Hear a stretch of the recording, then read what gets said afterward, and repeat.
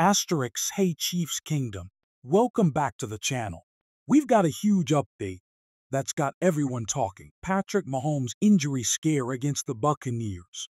But before we dive into the details, make sure to smash that like button and subscribe for more Chiefs content. Last Sunday's game against Tampa Bay was a roller coaster.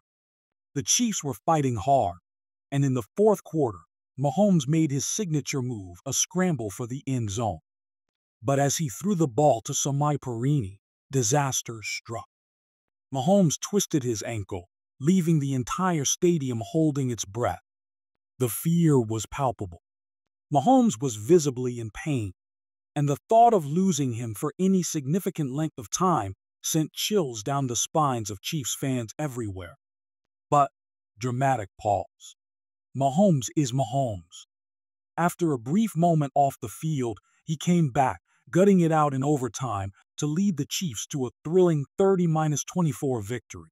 In his post-game interview, Mahomes admitted the fear he felt, referencing past ankle injuries, but emphasized his determination to finish the game.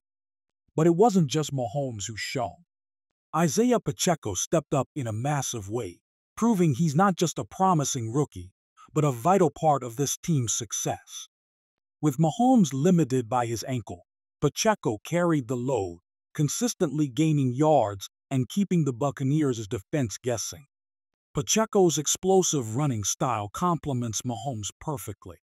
He's a versatile back, capable of breaking off big runs or picking up key short yards. This game highlighted his potential to be a true offensive cornerstone for years to come. So, what does this all mean for the Chiefs going forward? While Mahomes' return is a testament to his grit, the ankle injury is a legitimate concern. Will he be limited in upcoming games?